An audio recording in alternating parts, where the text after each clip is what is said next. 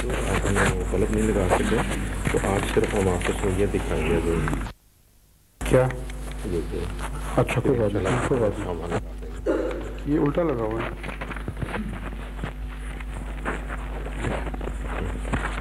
ٹھیک کر اذان دے دیں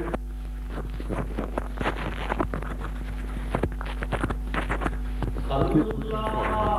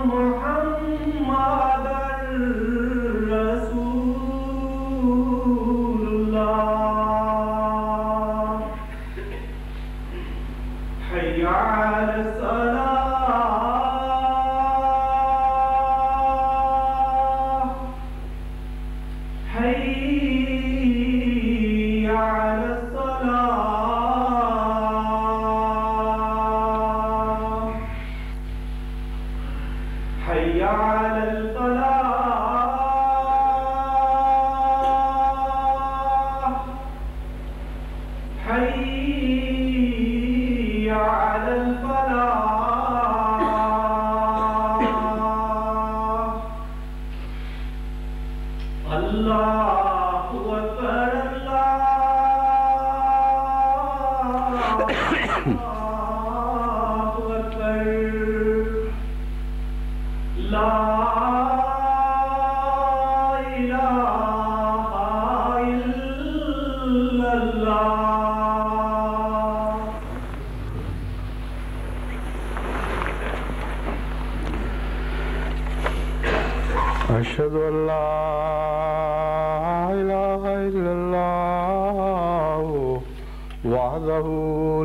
شريك له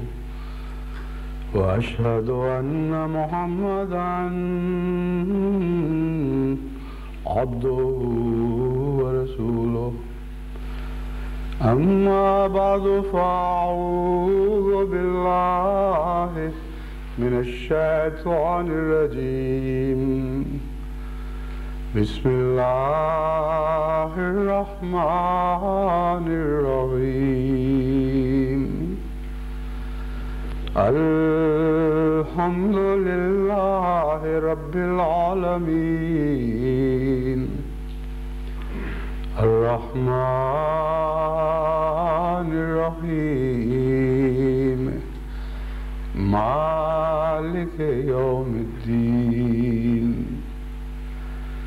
إياك نعبد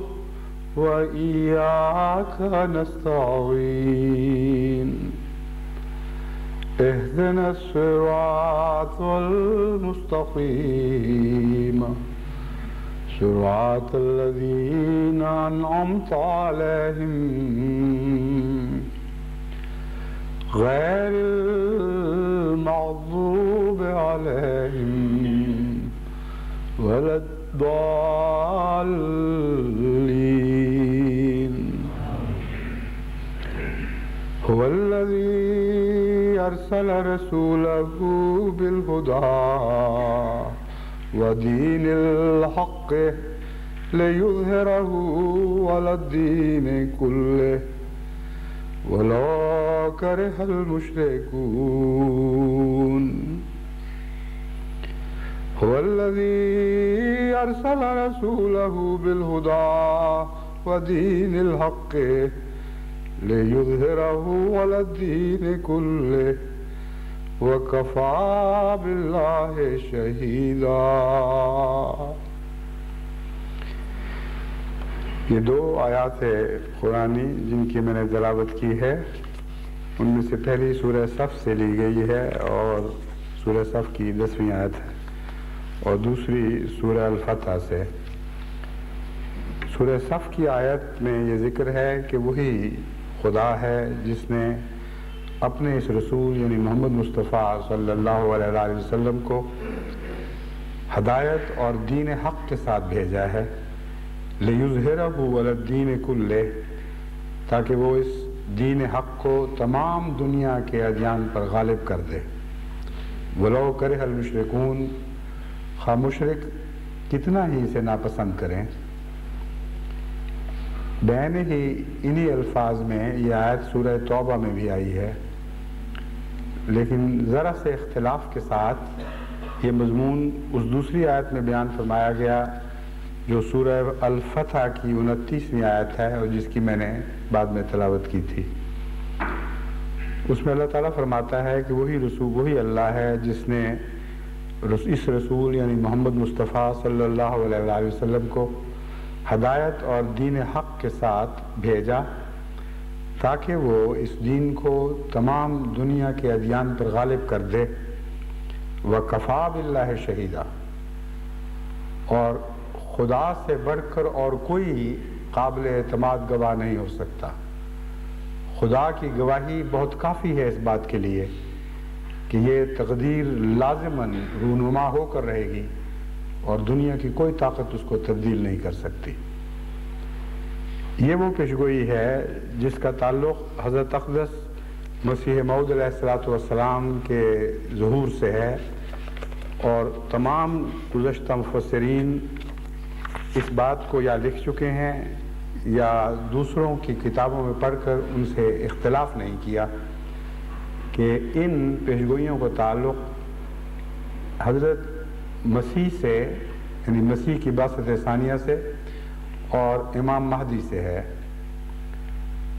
اس کے دور میں تمام دنیا کو دین واحد پر جمع کیا جائے گا اور حضرت اقدس محمد مصطفیٰ صلی اللہ علیہ وسلم کے کامل غلام اور بروز کے طور پر وہ کام جس کی جس کا آغاز حضرت اقدس محمد رسول اللہ صلی اللہ علیہ وسلم نے شروع فرمایا اس کا انجام اور اتمام مہدی اور مسیح کے زمانے میں ہوگا گویا مہدی اور مسیح کے لیے تمام دنیا کو جمع کرنا مقدر تھا سورہ جمعہ میں بھی جو جمع کا مضمون آ حضرت صلی اللہ علیہ وآلہ وسلم کے بروزی ظہور کے سلسلے میں بیان فرمایا گیا اس میں یہ بیان فرمایا ہے کہ وہ دو زمانوں کو جمع کرنے والا ہوگا فآخرین منہم لمہ وہ اس شان کا وجود ہوگا جو حضور اکرم صلی اللہ علیہ وآلہ وسلم کی ثانیہ کا مرتبہ رکھتا ہوگا اور آپ ہی کی غلامی میں آپ ہی کے آغاز کیے ہوئے کاموں کی تکمیل کی خاطر آئے گا اور آخرین میں بسنے والوں کو اولین سے ملا دے گا یعنی ان کے ساتھ جمع کر دے گا تو جمع کے مضمون کا جو سورہ جمعہ کے ساتھ گہرا تعلق رکھتا ہے حضرت اقدس مسیح مود علیہ السلاۃ والسلام کی بیست کے ساتھ ایک گہرا اور اٹوٹ رشتہ ہے اور یہ وہ دعویٰ ہے جو صرف حضرت مسیح معود علیہ السلات والسلام ہی نے نہیں فرمایا بلکہ آپ کی تائید میں اس سے پہلے بہت بڑے بڑے مفسرین اور مفکرین یہی بات لکھتے چلے آئے ہیں سب سے پہلے میں حضرت مسیح محمد علیہ السلام کی ایک عبارت آپ کے سامنے رکھتا ہوں آپ فرماتے ہیں خدا تعالیٰ نے جو اتمام نعمت کی ہے ان یعنی نعمت کو تمام کیا ہے وہ یہی دین ہے جس کا نام اسلام رکھا ہے پھر نعمت میں جمعہ کا دن بھی ہے جس روز اتمام نعمت ہوا یعنی جمعہ کے دن ہی نعمت اپنے پائے تکمیل کو پہنچی یہ اس کی اس کی طرف اشارہ تھا کہ پھر اتمام نعمت جو لزر اللہ دین کل ہی کی صورت میں ہوگا وہ بھی ایک عظیم الشان جمعہ ہوگا وہ جمعہ اب آ گیا ہے کیونکہ خدا تعالیٰ نے وہ جمعہ مسیح موت کے لیے مخصوص کر رکھا ہے پھر آپ فرماتے ہیں یہ وقت وہی وقت ہے جس کی پیشگوئی اللہ تعالیٰ نے رسول اللہ صلی اللہ علیہ وسلم کے ذریعہ لے رحدین کل کہہ کر فرمائی تھی یہ وہی زمانہ ہے جو الیوم اکملت لکم دینکم واتمتوں کو نعمت ہی کی شان کو بلند کرنے والا اور تکمیل اشاعت ہدایت کی صورت میں دوبارہ اتمام نعمت کا زمانہ ہے اور پھر یہ وہی وقت اور جمعہ ہے جس میں واخرین منہم لما ی الحقوب کی پیشگوئی پوری ہوتی ہے یعنی ایک زمانے میں تمام بنی نو انسان کو حضرت محمد مصطفیٰ صلی اللہ علیہ وآلہ وسلم کے جھنڈے تلے جمع کرنے والا جمعہ اور دو مختلف زمانوں کے غلامان محمد مصطفیٰ کو ایک جگہ اکٹھا کر دینے والا جمعہ وہی جمعہ ہے جو امام مہدی اور مسیح مود کی بحثت کے ساتھ تعلق رکھتا ہے اس وقت رسول اللہ صلی اللہ علیہ وسلم کا ظہور بروزی رنگ میں ہوا ہے اور ایک جماعت صحابہ کی پھر قائم ہوئی ہے اتمام نعمت کا وقت آ پہنچا ہے لیکن تھوڑے ہیں جو اس سے آگاہ ہیں اور بہت ہیں جو ہنسی کرتے اور ٹھٹھوں میں اڑاتے ہیں مگر وہ وقت قریب ہے کہ خدا تعالی اپنے وعدہ کے موافق تجلی فرمائے گا اور اپنے زور اور حملوں سے دکھا دے گا کہ اس کا نظیر سچا ہے ملفوظات جلد تین صفحہ ایک سو تراسی و اب میں پرانے مفسرین کے بعض حوالے آپ کے سامنے رکھتا ہوں جس سے حضرت عبدس مسیحمد علیہ السلام کی ان تصریحات کی بڑی قوت کے ساتھ تائید ہوتی ہے تفسیر قرطبی میں اسی آیت کے تحت یعنی ریوز رہو الدین کلہی کے تحت لکھا ہے کالا ابو حریرہ تو والضحاق بالضحاق حاضر عند نزول عیسیٰ علیہ السلام وقال سدی ذالک عند خروج المہدی تفسیر قرطبی جزو نمبر آٹھ سورہ توبہ زیر آیت حاضر یعنی حضرت ابو حریرہ اور ضحاق کہتے ہیں کہ یہ وعدہ کہ وہ اللہ تعالیٰ آن حضرت صلی اللہ علیہ وآلہ وسلم کے دین کو تمام ادیان پر غالب کر دے گا نزول مسیح کے وقت پورا ہوگا اور سدی کہتے ہیں کہ یہ ظہور مہدی کے ظہور مہدی پر یہ وعدہ پورا ہوگا دراصل تو ایک ہی وجود کے دو نام ہیں اور ان دونوں کا یہ کہنا اختلاف کا رنگ نہیں رکھتا بلکہ یہ ظاہر کرتا ہے کہ جس وجود کے ذریعے یہ وعدہ پورا ہوگا اس کا ایک نام مسیح ہے اور ایک نام مہدی ہے حضرت امام فخر الدین راضی اپنی تفسیر کبیر میں اسی آیت کے تحت لکھتے ہیں ترجمہ پڑھ کے سناتا ہوں حضرت ابو حریرہ رضی اللہ تعالیٰ عنہ سے مروی ہے کہ اس آیت میں وعدہ ہے کہ اللہ تعالیٰ تمام دینوں پر اسلام کو غالب کرے گا اور اس وعدہ کی تکمیل مسیح معود کے وقت میں ہوگی اور سدی کہتے ہیں کہ یہ وعدہ مہدی معود کے زمانے میں پورا ہوگا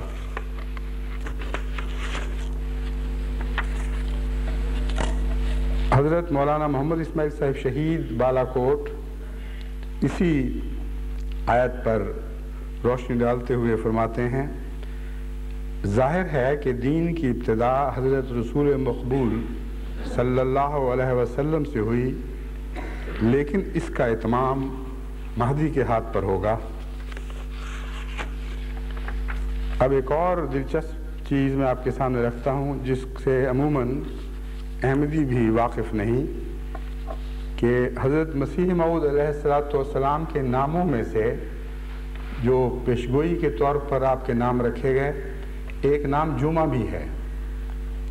یعنی امام مہدی کا نام جمعہ بھی ہے جو پہلے سے ہی مذکور چلا آتا ہے چنانچہ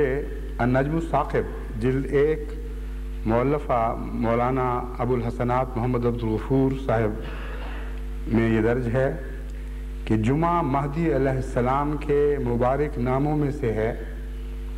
یا آپ کی ذات شریف سے کنایا ہے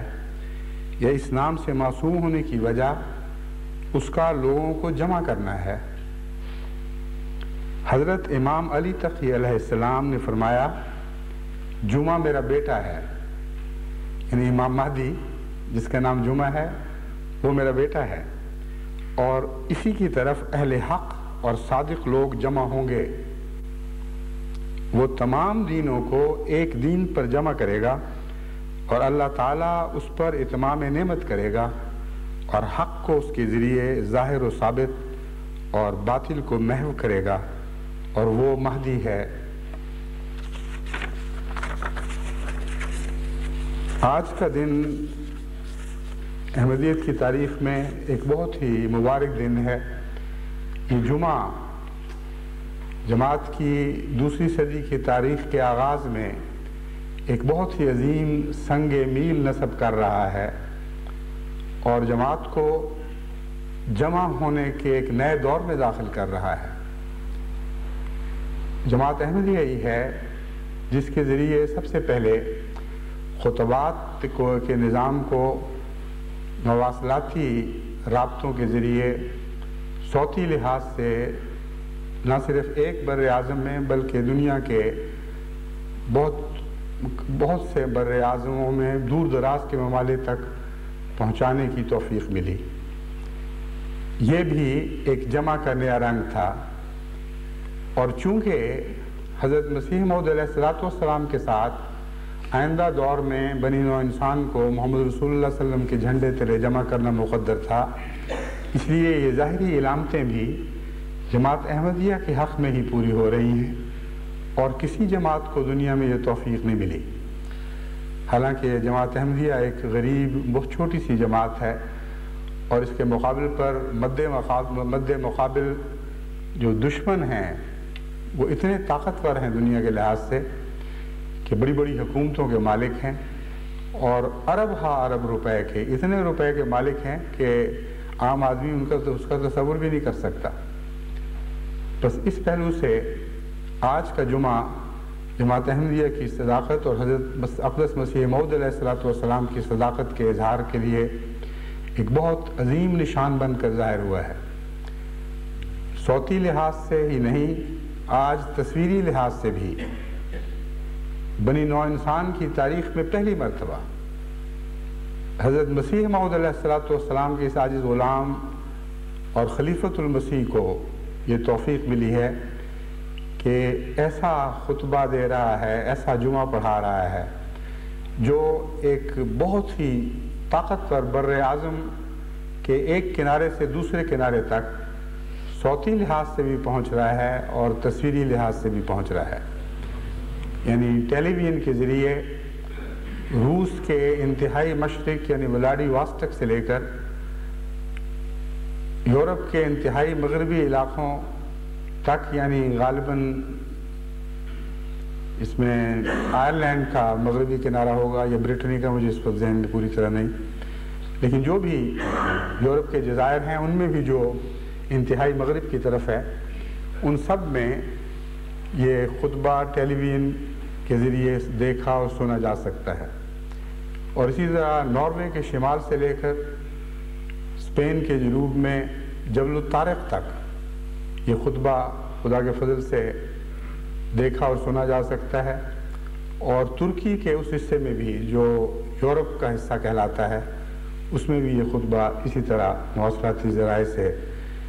صوتی اور تصویری لحاظ سے نشر ہو رہا ہے بس یہ دن ہمارے لیے جذباتی لحاظ سے بہت ہی ایک ہجانی دن ہے لیکن صرف جذبات سے اس کا تعلق نہیں یہ حضرت عود علیہ السلام کی صداقت کا ایک عظیم الشان شان نشان ظاہر ہوا ہے دنیا کو ان ذرائع سے جمع کرنا اور دین میں جمع کرنا اور خطبے کے ذریعے اور جمعہ کے دن جمع کرنا یہ وہ سارے مقدرات ہیں جن کا تعلق حضرت مسیح محدود علیہ السلام والسلام کی باست سے اور ان آیات کریمہ سے ہے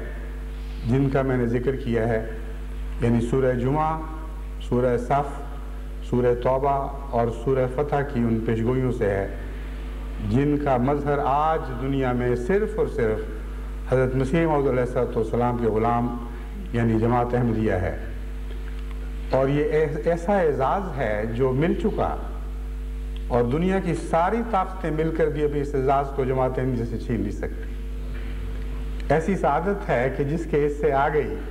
جسے خدا نے عطا فرما دی وہ اب دنیا کی تمام عظمتیں حاصل کرنے رکھنے والی سلطنتیں بھی مل کر چاہیں تو اس سے اب چھین نہیں سکتی جو سبقت جماعت کو نصیب ہو گئی وہ نصیب ہو گئی اور اب ان کے لیے تو اگر وہ ظالم ہیں اور دشمنی رکھتے ہیں تو سر پیٹنے اور واویلا کرنے کے سوا کچھ باقی نہیں رہا مگر ہمیں اس بات پر کوئی خوشی نہیں کہ دشمن اس کے نتیجے میں غیظ و غضب کا دکھاتا ہے اور جوش دکھاتا ہے اور نفرت میں پہلے سے بڑھ جاتا ہے ہماری تو دعا یہ ہے کہ اس نئے ذریعے سے کثرت کے ساتھ غیر احمدی مسلمانوں کو بھی یہ خطبات براہ راست سننے اور دیکھنے کی توفیق ملے اور اس کے نتیجے میں جو دوریاں ہیں وہ کم ہو جائیں جو فاصلے ہیں وہ پاٹے جائیں اور جن جن کو خدا نے فراست عطا فرمائی ہے وہ نہ صرف اپنے کانوں سے سنیں بلکہ آنکھوں سے دیکھیں اور فیصلہ کریں کہ یہ جھوٹے اور جھوٹوں کے منہوں کی باتیں ہیں یہ سچوں کے کلام ہیں اور اس رنگ میں اللہ تعالیٰ ان کے لیے ہدایت کے نئے سامان پیدا فرمائے ہمیں اس بات میں خوشی ہے اگر ایک بھی صحیح روح اس نئے ذریعے سے سچ کو پا جاتی ہے اور حق کی آغوش میں آ جاتی ہے تو ہمارے لیے یہ ایک اور جمعہ یعنی عید کا دن ہوگا جہاں تک جمعے کی ذمہ داریوں کا تعلق ہے اب میں ان سے متعلق آپ کو کچھ سمجھانا چاہتا ہوں آپ نے یہ تو دیکھ لیا کہ خدا کی تقدیر نے خوب کھول کر یہ روز روشن کی طرح واضح فرما دیا کہ جماعت احمدیہ اور جمعہ کا ایک بہت ہی گہرا رشتہ ہے ایک تاریخی بھی رشتہ ہے اور ایک حال کے زمانے پر پھیلا ہوا رشتہ ہے اور ایک مستقبل کے زمانے میں رونما ہونے والے واقعات کا رشتہ ہے اور یہ ایسے گہرے تقدیری رشتے ہیں جن کے نتیجے میں ہم کہہ سکتے ہیں جس طرح امام مہدی جمعہ جمعہ بھی تھے اور امام مہدی بھی تھے جماعت احمدیہ جماعت احمدیہ بھی ہے اور جمعہ بھی ہے کے ساتھ ہماری ساری بقا وابستہ ہے ہمارے تمام کاموں کو کا نیک انجام تک پہنچنا وابستہ ہے اور اس دن کے جو حقوق ہیں وہ ہمیں لازماً ادا کرنے ہوں گے اگر ہم نے اس دن کے حقوق ادا نہ کیے تو احمدیت تو ان برکتوں سے محروم نہیں ہو سکتی کیونکہ خدا تعالیٰ کا کلام ہے جو لازمان پورا ہوگا محمد مصطفیٰ صلی اللہ علیہ وسلم کی خوشخبریاں ہیں جن کو دنیا کی کوئی طاقت ٹال نہیں سکتی مگر بعض نسلیں ان برکتوں سے ضرور محروم رہ سکتی ہیں وہ نسلیں جن کو خدا تعالیٰ نے کھول کر برکتوں کی راہیں دکھا دی گئی ہوں دکھا دی ہوں اور وہ ان پر آگے قدم بڑھا کر ان برکتوں کے حصول کی کوشش نہ کریں ان کی محرومی ضرور ہو سکتی ہے بس خدا نہ کرے کہ ہماری نسل محروموں کی نسل شمار ہو کیونکہ ہماری نسل ہی کو خدا نے یہ موزے دکھائے ہیں اور اوپر تلے مسلسل ظاہر ہونے والے نشانات کی صورت میں یہ موزے دکھائے ہیں جب سے احمدیت اپنی دوسری صدی میں داخل ہوئی ہے نئے نئے اعجازی نشان احمدیت کے حق میں ظاہر ہو رہے ہیں اور یہ نشان ان نشانوں میں سے ایک بہت ہی عظیم نشان بلکہ یہ کہنا بھی غلط نہ ہوگا کہ سب سے بڑا عظیم نشان ہے کیونکہ اس نشان نے کھول کر اسلام کے غلبے کو احمدیت کے غلبے کے ساتھ ہمیشہ کے لیے اٹوٹ نہ ٹوٹنے والے رشتوں میں جوڑ دیا ہے جمعہ کے تعلق میں میں اس سے پہلے جماعت کو نصیحت کرتا رہا ہوں کہ جمعہ کے حقوق ادا کریں خود بھی جمعے میں حاضر ہوں اپنے بچوں کو بھی لایا کریں جن لوگوں کو توفیق نہیں ملتی کہ وہ ہر جمعے میں حاضر ہو سکیں ان کو چاہیے کہ کم سے کم تین میں سے ایک جمعہ تو ضرور پڑھ لیا کریں اور جن کے بچوں کو تعلیمی اداروں کی پابندیوں کے نتیجے میں ہر جمعے میں شامل ہونے کی توفیق نہیں مل سکتی کوشش کریں کہ ان کے اساتذہ ان کے لیے استثنائی فیصلہ کرتے ہوئے ان کو اجازت دیں اور اگر نہ دیں تو کم از کم تین جمعوں میں سے ایک جمعہ ان کو اسکول جانے سے روک دیں اور وہ جمعے میں حاضر ہوا کریں یہ جو میں نے کہا تھا اس کا تعلق آ حضرت صلی اللہ علیہ وآلہ وسلم کے بعض واضح فرمودات سے ہے اور انہی سے متعلق میں کچھ مزید روشنی ڈالنا چاہتا ہوں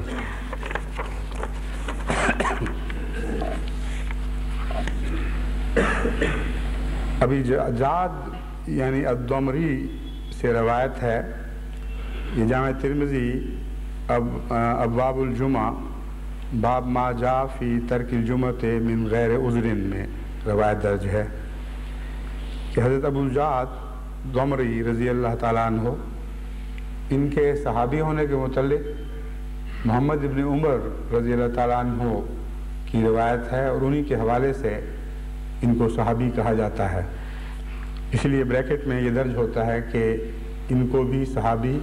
فلاں وجہ سے شمار کیا گیا ورنہ معروف صحابہ میں معلوم صحابہ میں ان کا نام نمایاں نہیں ہے مگر بہرحال تمام محدثین جنہوں نے ان کی روایات درج کی ہیں بطور صحابی ہی ان کی روایات درج کرتے ہیں فرماتے ہیں کہ حضور اکرم صلی اللہ علیہ وسلم نے فرمایا کہ وہ شخص جو شخص مسلسل تین جمعہ اپنی سستی اور غفلت کی وجہ سے یا جمعہ کو حقیر سمجھتے ہوئے ترک کرتا ہے اللہ اس کے دل پر مہر لگا دے گا ایک دوسری روایت میں درج ہے کہ جو تین جمعے آمدن چھوڑ دے وہ منافق ہے یہ حدیث جو میں نے پیش کی ہے یہ سنن ابو داود میں بھی ہے سنن النسائی میں بھی ہے سنن ابن ماجہ میں بھی ہے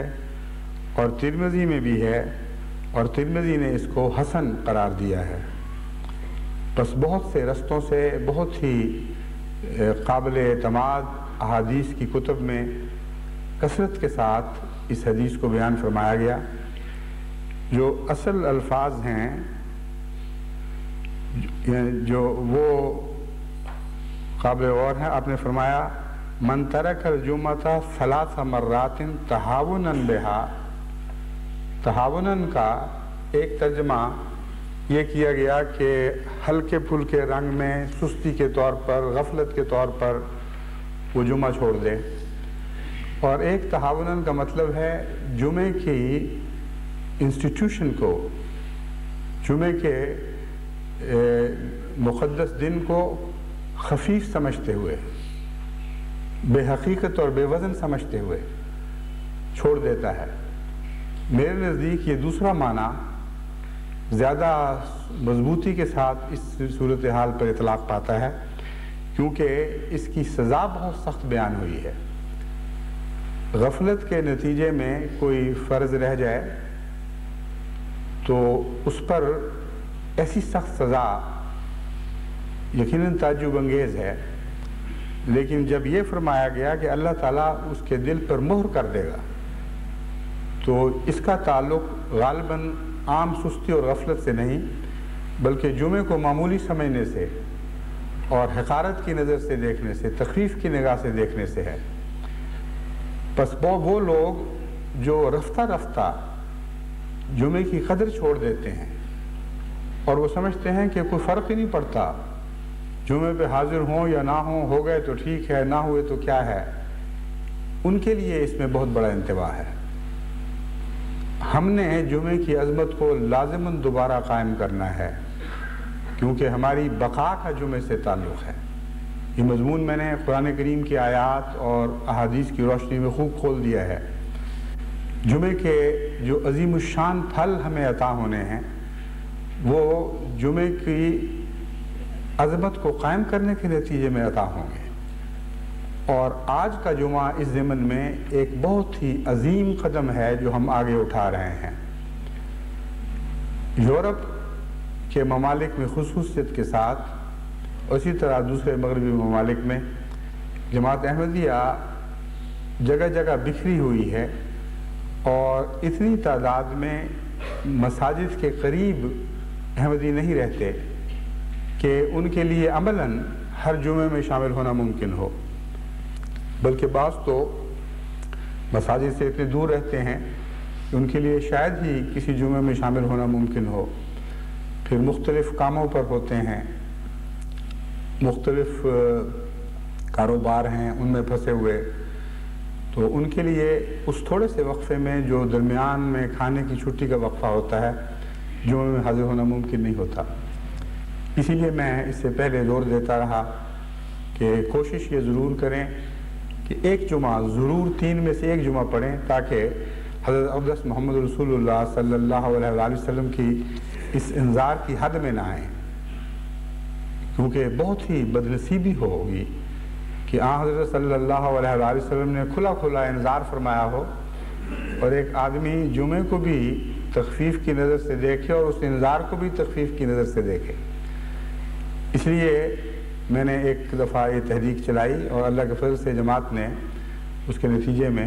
مثبت رد عمل دکھایا بعض لوگوں نے اپنی نوکریاں چھوڑ دی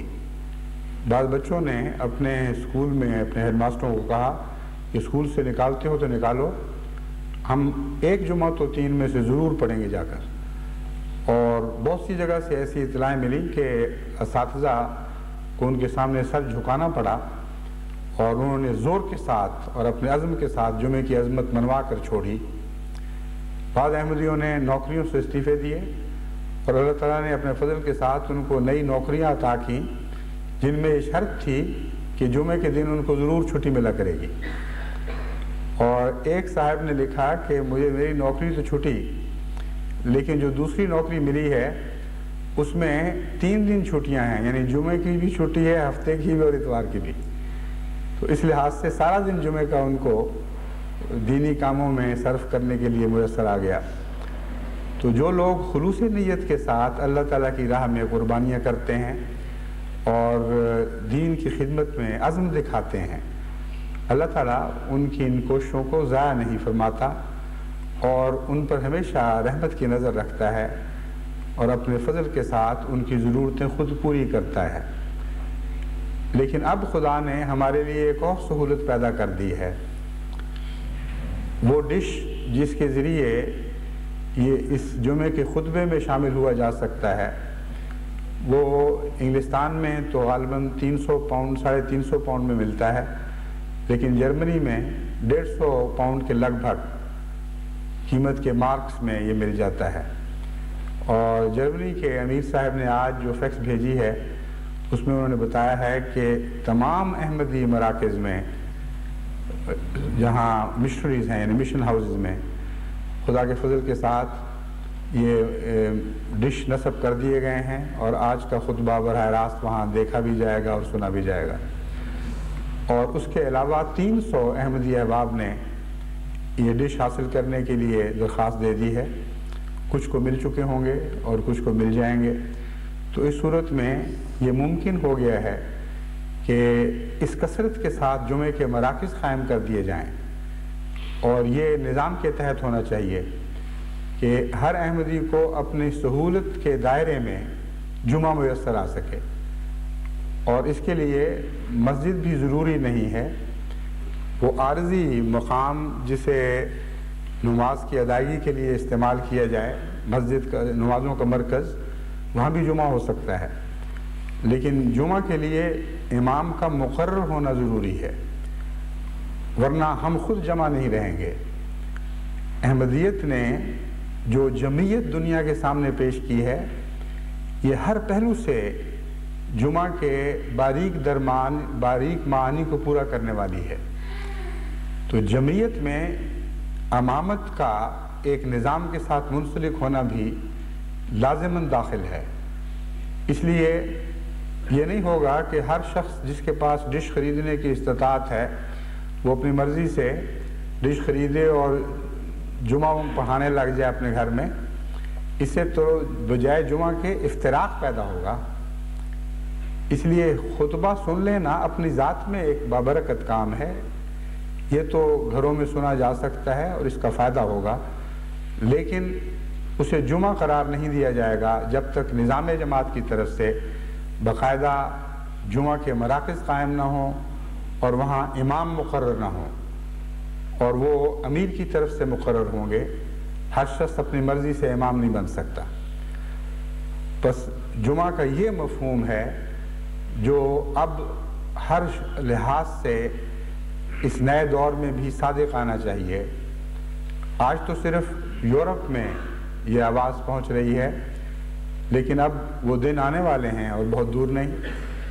کہ مختلف بر اعظم بھی حضرت مسیم علیہ السلام والسلام کے غلاموں کی آواز کے ذریعے اور تصویر کے ذریعے جمع کیے جائیں گے اور اس طرح جمعہ کا نظام سارے عالم میں پھیلتا چلا جائے گا اور یہ ایک رنگ میں آئندہ عظیم الشان پوری ہونے والی پیشگوئیوں کا پیش خیمہ ثابت ہوگا بس دوسری صدی کے سر پر جماعت احمدیہ کو یہ توفیق ملنا کوئی معمولی بات نہیں محض جذباتی ہی جان کا قصہ نہیں ہے واقعتاً ایک بہت ہی عظیم الشان پیشگوئی کے پورا ہونے کے آثار ہیں جو ظاہر ہو رہے ہیں اور وہ آثار انشاءاللہ دن بدن زیادہ شان کے ساتھ ظاہر ہوتے چلے جائیں گے اور قوت پکڑتے چلے جائیں گے جمعہ کی اہمیت کے سلسلے میں ایک اور روایت حضرت سمرہ سے مروی ہے رسول اکرم صلی اللہ علیہ وسلم نے فرمایا الجمعہ تا ودنو من الامام فین الرجل لیتخلف عن الجمعت حتی انہو لیتخلف عن الجنت جنت، و انحمن مسند احمد بن حنبل جلد پانچ صفحہ دس اس میں وہ لکھنے والے نے سن اشاعت نہیں لکھا مسند احمد بن حنبل تو پتہ نہیں کسی جگہ کہاں کہاں چھپی ہوگی ضروری نہیں کہ اس کے جلد پانچ کے ہر مسند بن احمد کی کاپی کے جلد پانچ کے صفحہ دس پر یہ روایت ہو مگر اگر ابواب کے ذریعے تلاش کی جائے تو جمعہ کے ابواب میں یہ روایت مل جائے گی فرمایا جمعہ پر حاضر ہوا کرو اور امام کے قریب بیٹھا کرو کیونکہ جو شخص جمعہ سے پیچھے ہٹتا ہے وہ جنت سے بھی دور ہو جاتا ہے حالانکہ وہ اس کا اہل ہوتا ہے یہ سادہ سے چند الفاظ ہیں لیکن دیکھیں اتنے کتنی گہری حکمتیں بیان فرما دی گئی ہیں اور باتوں باتوں میں عظیم عرفان کے خزانے ہیں جو لٹائے جا رہے ہیں جمعہ پر حاضر ہوا کرو اور امام کے قریب بیٹھا کرو ان کا کیا تعلق ہے جیسا کہ میں نے بیان کیا جمعہ کا امام سے تعلق ہے اور دراصل اس امام سے تعلق ہے جو خدا مقرر فرماتا ہے اور امام مہدی ہی کے ذریعے جمعے کے ہر معنی میں جمعہ سے تعلق رکھنے والی برکتیں مسلمانوں کو نصیب ہونی تھی اور درمیانی عرصے میں لوگوں نے ان برکتوں سے معروم رہنا تھا مقدر یہ تھا کہ جن عظیم کاموں کا کا آغاز حضرت محمد رسول اللہ صلی اللہ علیہ وسلم نے فرمایا ان کی تکمیل آپ کے کامل غلام امام مہدی کے ذریعے ہونی تھی بس امامت کا جمعے سے ایک گہرا تعلق ہے اور جمعے کے قریب ہونے کے ساتھ آپ نے امام کے قریب ہونے کے مضمون بھی بیان فرما دیا کیسی سادہ سی باتوں میں کیسے کیسے حکمت کے خزانے دفن ہوتے تھے آ حضرت صلی اللہ علیہ وآلہ وسلم کی حدیث کو سرسنی نظر سے پڑھنے والا ایسا ہی ہوتا ہے جو سمندروں کو سرسری نظر سے دیکھے دنیا کے نظاروں کو سرسری نظر سے دیکھے اور گزر جائے اس کو پتہ ہی نہیں لگتا بیچارے کو کہ سمندر کی تہ میں ڈوبے ہوئے کتنے موتی ہیں کتنے خزانے ہیں بعض بنجر زمینوں میں ان کی گہرائی میں خدا تعالیٰ نے کتنی نعمتیں انسان کے لیے دفن کر رکھی ہیں صحراؤں میں تیل کے چشمے ہیں بس کائنات ایک زندہ خدا کی مظہر ہے اور حضرت محمد مصطفیٰ صلی اللہ علیہ وسلم اس زندہ خدا کی روحانیت کا مذہب تھے اور ہیں اور اس لحاظ سے آپ کی باتوں کو بھی سطحی نظر سے دیکھنا اپنی جان پر ظلم کرنا ہے اب ضمن چلتے چلتے آپ فرماتے ہیں جمعہ پر حاضر ہوا کرو اور امام کے قریب بیٹھا کرو اب ان جونوں باتوں کو جوڑ کر دیکھیں تو آپ کو سمجھ آئے گی کہ دراصل امام کے قریب ہونا ہی جمعہ ہے ایک امام کے ذریعے ہی دنیا میں اسلام کی جمعیت قائم ہو سکتی ہے اس کے بغیر ہو ہی نہیں سکتی پس فرمایا کہ جمعہ کو ظاہری طور پر صرف حاضر ہو کر اس کے تقاضے پورے نہ کرو بلکہ اس کے معنوں پر نظر رکھا کرو امام سے قربت اختیار کرو اسی کے ذریعے تمہیں حقیقی معنوں میں جمعہ نصیب ہوگا پھر فرمایا کیونکہ جو شخص جمعہ سے پیچھے ہٹتا ہے وہ جنت سے بھی دور ہو جاتا ہے اس ارشاد نبوی کا پہلی دونوں باتوں سے تعلق ہے جو شخص جمعہ سے پیچھے ہٹنا شروع ہوتا ہے اس کے دل پر رفتہ رفتہ زنگ لگنا شروع ہو جاتا ہے اور وہ اہلیت کے باوجود جنت سے محروم رہ جاتا ہے اسی طرح جو امام سے پیچھے ہٹنے لگتا ہے اس کے دل پر بھی رفتہ رفتہ زنگ لگنے شروع ہو جاتے ہیں اس کے اندر بھی بوت پیدا ہوتا ہے بدزنیوں کی طرف میلان شروع ہو جاتا ہے اور اگر وہ صلاحیت بھی رکھتا ہو روحانی ترقی کی تو اس اپنی جان پر ظلم کے نتیجے میں وہ اس صلاحیت کی نعمتوں اس کے پھل سے معروم رہ جاتا ہے بس حضور اکرم صلی اللہ علیہ وآلہ وسلم نے جمعہ پر حاضر ہونے پر ہی زور نہیں دیا جمعہ پر حاضر ہو کر اس کے اس کا عرفان حاصل کرنے پر زور دیا ہے اور گہرائی میں اتر کر اس کی نعمتوں سے استفادہ کرنے کی ہدایت فرمائی ہے جہاں تک اہل اہلیت کا تعلق ہے مراد یہ ہے کہ وہ لوگ جو امام سے وابستہ ہو چکے ہوں یہ انہی کا ذکر چل رہا ہے ان سب کو خدا تعالیٰ جنت میں داخل ہونے کی اہلیت عطا کر دیتا ہے اور اہلیت کا آغاز ہی اس تعلق سے ہوتا ہے پس حضرت مسیحمدہ علیہ والسلام کی جماعت کے ساتھ وابستہ ہونا اہلیت کا ٹکٹ نہیں ہے بلکہ اہلیت والوں میں داخل ہونے کا اعلان ہے اور اس داخلے کے بعد پھر دیگر شرطیں پوری کرنی ہوں گی اور ان شرطوں میں تقرب الامام بھی ایک شرط بیان فرمائی گئی ہے جمعے کا تقرب کرو جمعے کی عظمت کو پیش نظر رکھو اس میں حاضر ہوا کرو اس کی دن کی بہت ہی شان برکتیں ہیں احادیث میں اس کثرت سے بیان ہوئی ہیں کہ ان پر ایک پوری کتاب لکھی جا سکتی ہے ان سب برکتوں کا حاصل کرنا جمعے سے تعلق رکھتا ہے جمعے کے آغاز سے پہلے سے بھی تعلق رکھتا ہے جمعے کے بعد بھی تعلق رکھتا ہے سورہ جمعہ میں جہاں یہ بیان فرمایا گیا کہ جب اذان دی جائے تو جمعہ کی طرف دوڑ کر آؤ اس کے بعد فرمایا گیا کہ جمعے کے بعد پھر بشک پھر دنیا میں پھرا کرو اپنے کاموں میں مشغول ہو جایا کرو خدا کے فضل حاصل کیا کرو مگر اس کا ذکر بلند کرتے ہوئے پہلے بھی ذکر ہے بعد میں بھی ذکر ہے اور بہت سی برکتیں ہیں جن کا جمعے کی تیاری سے تعلق ہے بہت سی برکتیں ہیں جن کا جمعے کے دوران فرشتوں کے نزول کے ساتھ تعلق ہے بہت سی برکتیں ہیں جو جمعہ کے بعد بکھرنے کی صورت میں حاصل ہوتی ہیں اور وہ کام جو انسان چھوڑ کر جمعہ کے لیے حاضر ہوتا ہے جب دوبارہ ان کی طرف متوجہ ہوتا ہے تو سورہ جمعہ کی تصریح کے مطابق اس میں پہلے سے زیادہ برکتیں ملتی ہیں اور خدا کا فضل پہلے کی نسبت زیادہ میسر آتا ہے اس لیے جو وقت بظاہر انسان قربان کرتا ہے وہ وقت ضائع نہیں جاتا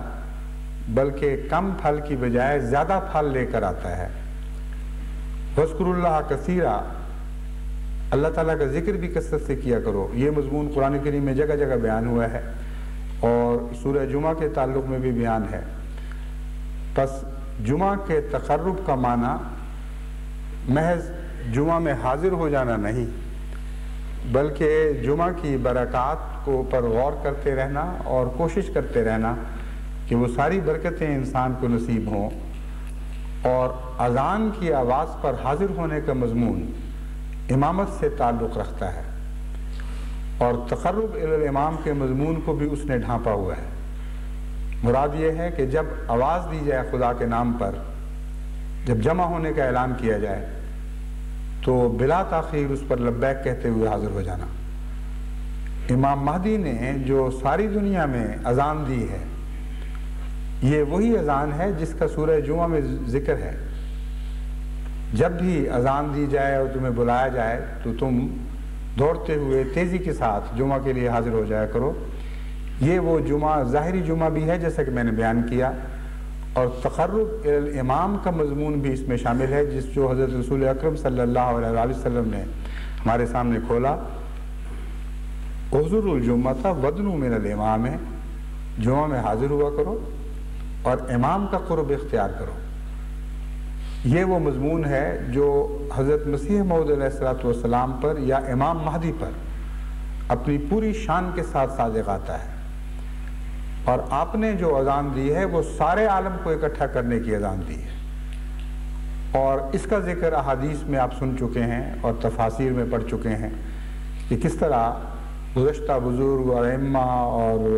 اہل فلسفہ اس مضمون کو اچھی طرح سمجھتے تھے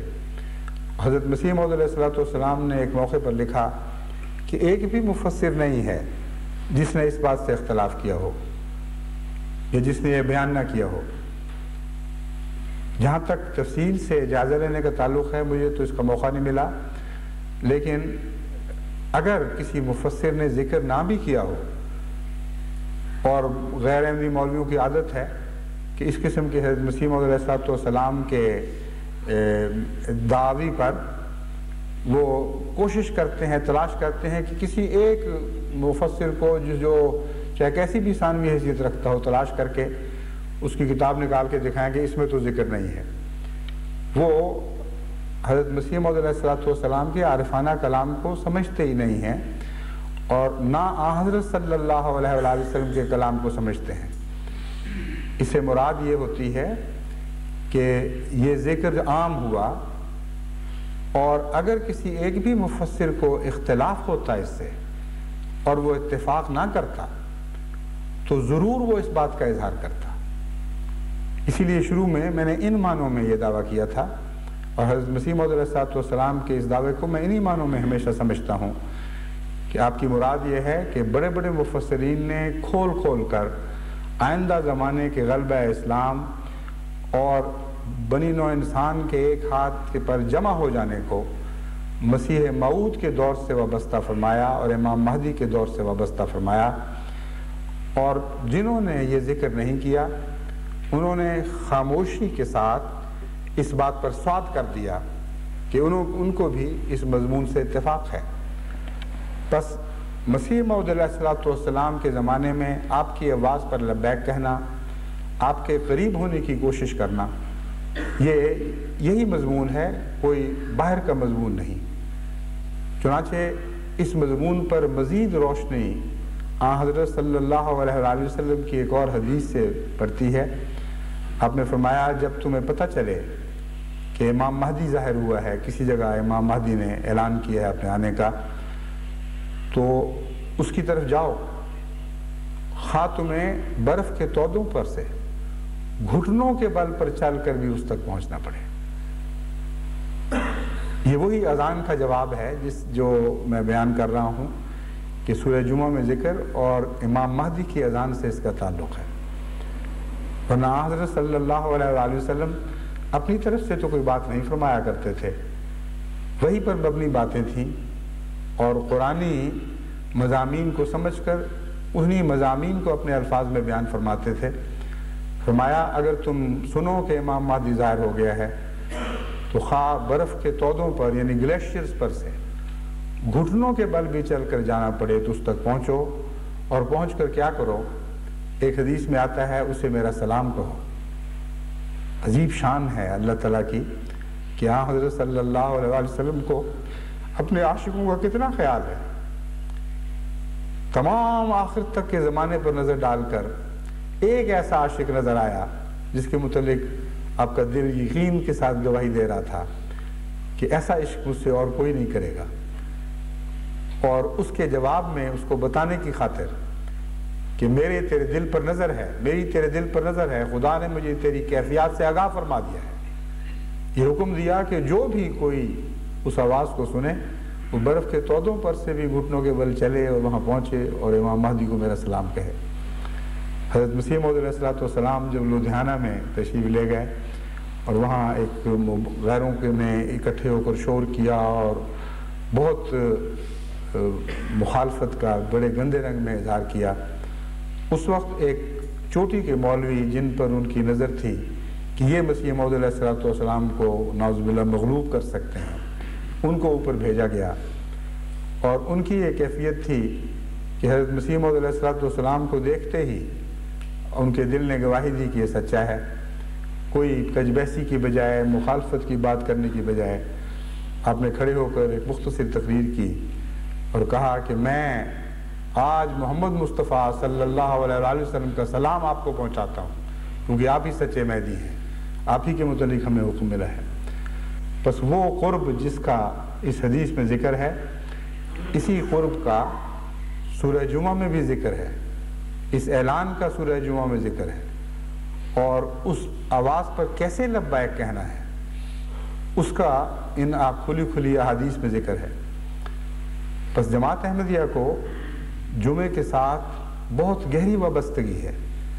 اور جمعہ کے عظیم معنوں میں جمعہ کے ساتھ ایک ایسا تعلق قائم ہوا ہے جو کبھی دنیا کی کسی جماعت کو اس طرح نصیب نہیں ہوا پس جمعے کے ساتھ جیسا کہ آپ نے حضرت مسیح علیہ السلام کی آواز پر لبیک کہہ کر تعلق جوڑا ہے اسی طرح اس جمعے سے بھی تعلق جوڑیں کیونکہ یہ جمعہ اور مسیح موت کو الگ الگ نہیں کیا جا سکتا آپ کا نام جمعہ رکھا گیا اس لیے لازم ہے کہ ہم اس جمعے کی ظاہری تقریب کو بھی ایک تقدس کا مقام دیں ایک محبت کا مقام دیں ایک عزت اور احترام کا مقام دیں آپ بھی اس کے ساتھ وابستہ ہوں اپنی اولادوں کو بھی اس کے ساتھ وابستہ کریں اور اب جب کہ خدا تعالیٰ نے یورپ کے بر اعظم کے ساتھ یہ احسان کا سلوک فرمایا ہے اور اس احسان کا حضرت مسیم عدیہ السلام کے خلیفہ کی ہجرت کے ساتھ ایک گہرا تعلق ہے جس علاقے نے خدا تعالیٰ کے راہ میں ہجرت کرنے والے کو پناہ دی ہو اس علاقے کے لیے مقدر میں کچھ برکتیں لکھی جاتی ہیں کچھ سعادتیں اس کو نصیب ہوتی ہیں بس یہ سعادت بے وجہ نہیں ہے انگلستان نے اس ہجرت میں جماعت احمدیہ کے مرکز کو پناہ دی ہے اور یہ مقدر تھا حضرت مسیحیہ علیہ السلام نے کشوی طور پر اپنے نام کو آدھا عربی رسم الخط میں اور آدھا انگریزی رسم الخط میں لکھا ہوا دیکھا یہ ایک پیشگوئی تھی کہ کسی وقت آپ کا ایک خلیفہ کچھ عمر مشرق میں بسر کرنے کے بعد وہاں کے مرکز سے تعلق رکھتے ہوئے کچھ عمر کا حصہ مغرب میں بسر کرے گا یہ کتنا کتنا ہوگا یہ اللہ بہتر جانتا ہے مگر یہ پیشگوئی یقینی طور پر بتا رہی تھی کہ حضرت مسیح السلاۃ والسلام کے کسی خلیفہ کو آپ کی نمائندگی میں ہجرت کرنی ہوگی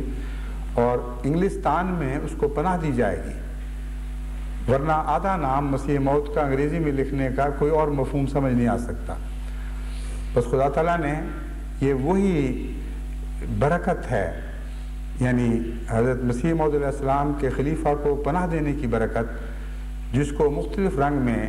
مغرب کی جماعتوں کے لیے ظاہر فرمایا ہوا ہے اور فرماتا چلا جا رہا ہے انگلستان جس بر اعظم کا حصہ ہے یہ برکتیں اس سارے بر اعظم پر پھیل رہی ہیں اور آج کا مبارک جمعہ جس نے یہ تقریب پیدا کر دی کہ ایک وسیع بر اعظم میں دور دراز سے لوگ عملاً امام وقت کے خطبے کو سن بھی سکیں اور دیکھ بھی سکیں اور ایک گونا شمولیت کا بدنی شمولیت کا احساس اور لطف حاصل کر سکیں یہ بھی ہجرت کی برکتوں میں سے ایک برکت ہے جس کو خدا تعالیٰ نے یورپ کو عطا فرمایا بس یہ جمعیت کا آغاز جو ہوا ہے اس میں جو کہ جمعے کا بہت گہرا تعلق ہے اور یہ تعلق میں بار بار بیان کر چکا ہوں اس لیے میں پھر نصیحت کرتا ہوں کہ جماعت اس سے حد البقدور استفادہ کرے جہاں جہاں ممکن ہو وہاں باقاعدہ مراکز مقرر کیے جائیں امام مقرر کیے جائیں ان کی مطابقت میں یہ خطبہ سننے کے بعد جو پیشگوئی کے رنگ میں پورا ہو رہا ہے اس لیے ہرگز اسے ناجائز نہیں قرار دیا جا سکتا کہ اس خطبے کو کوئی اہمیت دی جائے کیونکہ عظیم الشان پیشگوئیوں کا مصداق ہے یہ واقعہ اور یہ نظام کہ امام جماعت احمدیہ کا خطبہ براہ راست دور دراز علاقوں سے سنا بھی جا سکتا ہے اور دیکھا بھی جا سکتا ہے بس میں سمجھتا ہوں کہ ایسا نظام قائم ہونا چاہیے کہ یہ خطبہ اگر جمعہ کا وقت ہو باقاعدہ اس رنگ میں سنا جائے کہ باقاعدہ مراکز قائم ہوں وہاں ائمہ مقرر ہوں وہاں یہ خطبہ سننے کے بعد پھر سنت کی ادائیگی کے رنگ میں ایک مختصر خطبہ امام دے دے عربی کا مصنوعہ خطبہ پڑھ سکتا ہے اور ایسی ضروری باتیں جو مقامی حالات کے مطابق کہنی ہیں مختصراً کہہ دے اور پھر باجماعت نماز جمعہ جمعہ کی باجماعت نماز کروائے اس رنگ میں اس خطبے کا ان کے مقامی جمعوں کے ساتھ امتزاج ہو سکتا ہے لیکن پورا جمعہ وہاں نہیں پڑھا جا سکتا میرے ساتھ اس کی وجہ یہ ہے کہ امام کا آگے ہونا اور اور بھی بہت سی ظاہری شرطیں ہیں جن کا پورا ہونا ضروری ہے اور میں نہیں سمجھتا کہ یہ جائز ہوگا کہ جمعہ کی نماز میں میرے ساتھ شامل ہو کر وہ یہ سمجھیں کہ ان کی باقاعدہ جمعہ کی نماز ہو گئی ہے اس لیے میں تاکیدن یہ کہتا ہوں کہ خطبہ سنیں اس سے استفادہ کریں اس کے بعد مختصر خطبہ مصنوعہ یا کچھ زائد دے کر پھر اپنی نماز جمعہ پڑھائیں اس طرح ان شاء اللہ تعالی ایک بہت ہی بابرکت نظام قائم ہو جائے گا جو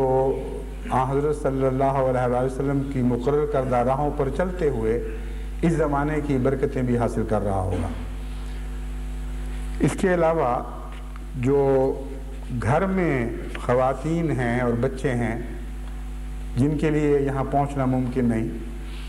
ان پر ان کو لیے تاکید ہے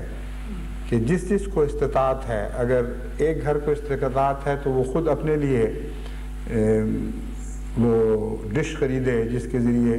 یہ خطبہ سنا اور دیکھا جا سکتا ہے اور اگر ایک گھر میں استطاعت نہ ہو تو محلے کے دو چار گھر مل کر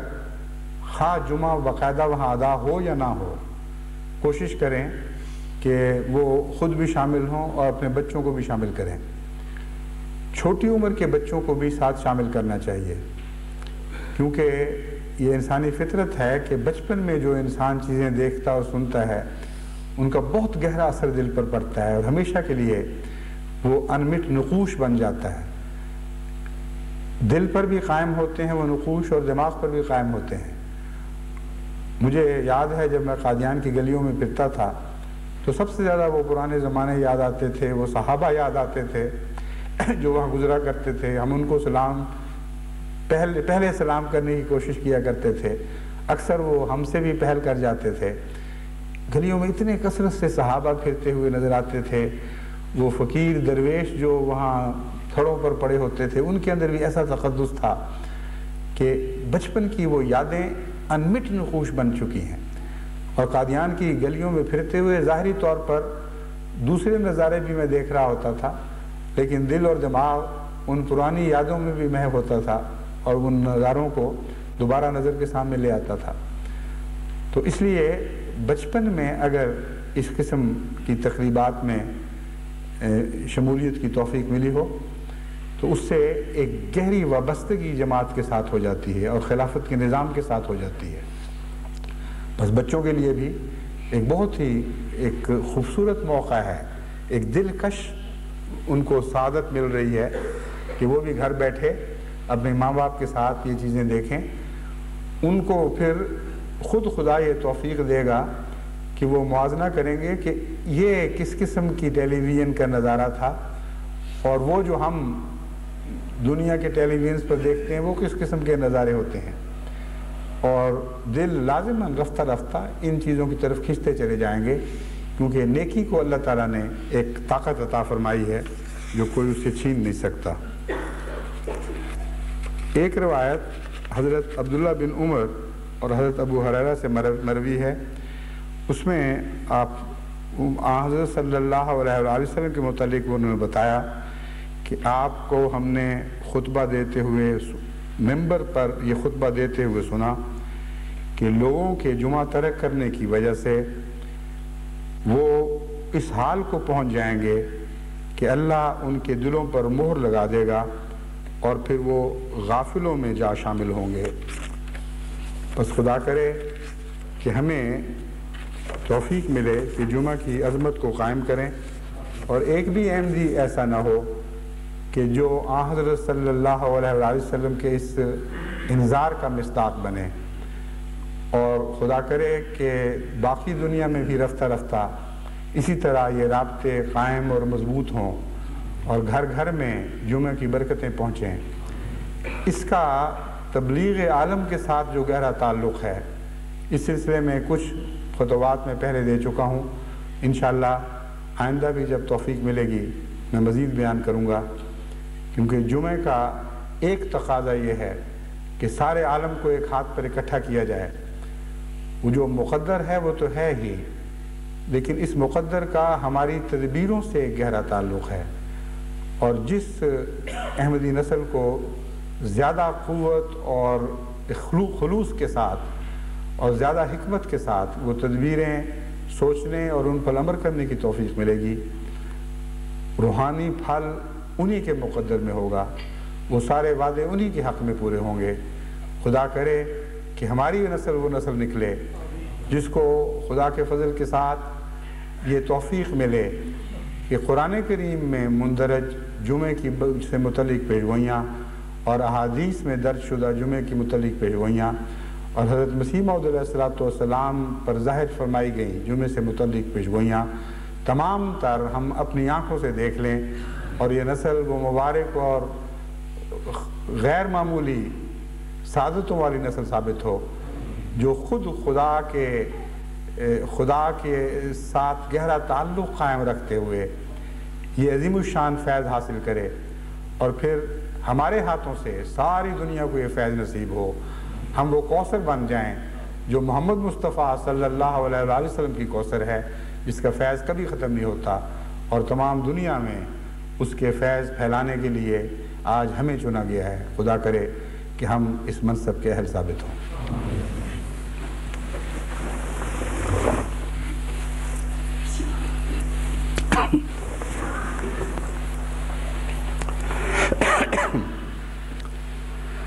الحمد للہ